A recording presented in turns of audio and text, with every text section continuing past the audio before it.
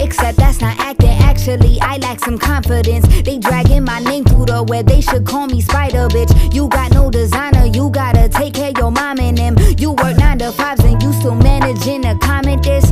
Fuck is your problem, bitch. I know you ain't proud of this. Deep down, you just wish you didn't feel stuck in the life you live. Deep down, you got power to change the view they assigned you with. Lost faith in humanity. Also lost the common sense. Also lost the attention or begin to find a shit. I won't take it personally cause I get addicted as well. Hard to wish enemies well, that's how the internet feel. Hard to hold my head.